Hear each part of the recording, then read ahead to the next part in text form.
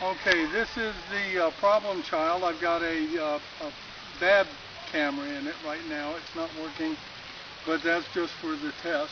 And uh, we're going to see what we can do. Which way is the wind coming?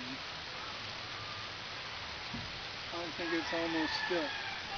Anyway, this is with the, uh, the Nanotech 2S battery on a 10-4 prop.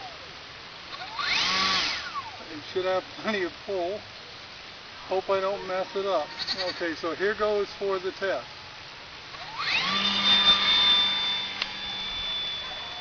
Oh, she flew.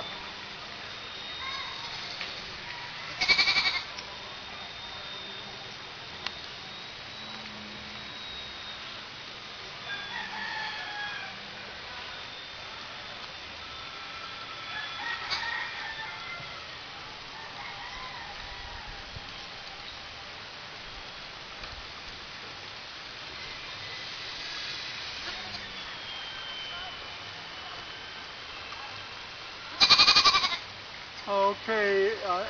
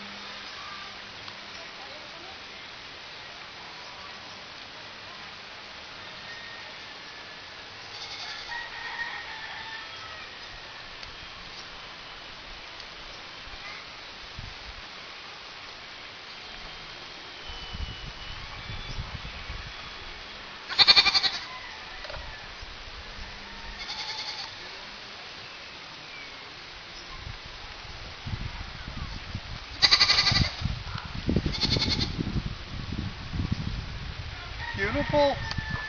Damn, I'm good.